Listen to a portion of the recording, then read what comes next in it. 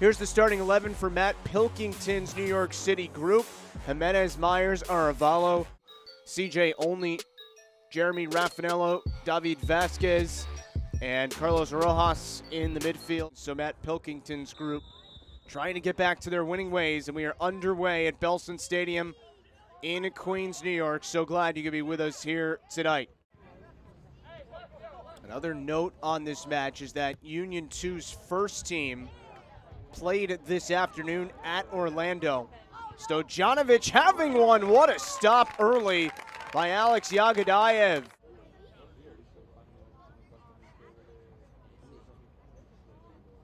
In swinging ball, it's a decent one. First touch comes to Rafanello, who scores.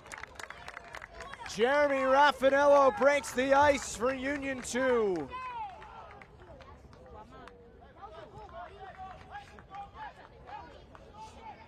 Goal of the season for Jeremy Rafanello. Cleans up the loose change.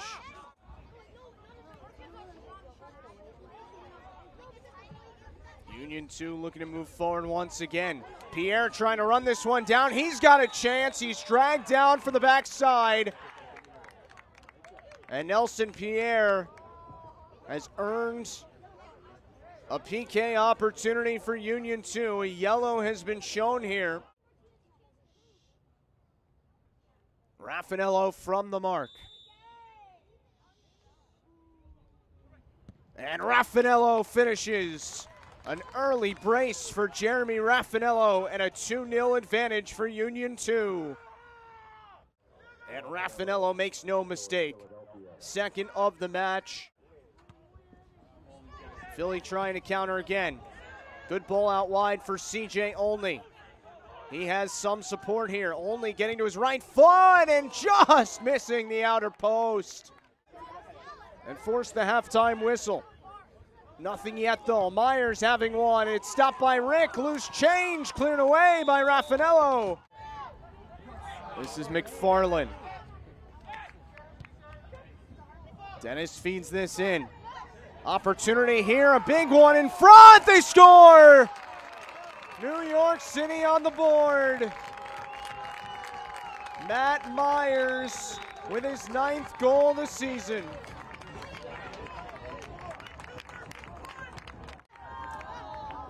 This ball was just waiting to be tucked home. Didn't leave the 18 for quite a while. Forced Jimenez to redirect his run and ended up slipping. Now Rafanello back the other way for Philly. Cross comes in front. It's settled and a stop made by Yagadayev.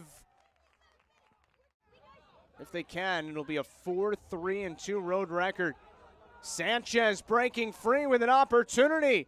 Luciano Sanchez delaying, shooting, he scores!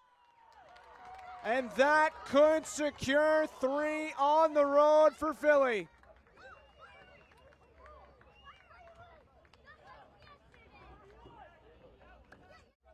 Third goal of the season for Luciano Sanchez, showing the patience and it's right between Yagadayev's legs. And that is it. Three more points on the road for Union 2. A 3 1 win tonight